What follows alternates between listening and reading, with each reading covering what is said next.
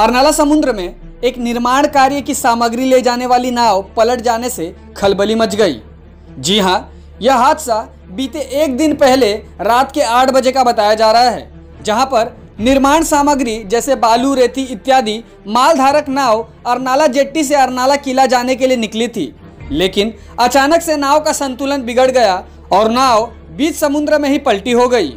आपको बता दें कि पलटी हुई नाव में कुल 12 लोग मौजूद थे, जिसमें से 11 लोग को तो सही सलामत बचा लिया गया, लेकिन अभी भी एक व्यक्ति की तलाश जारी है।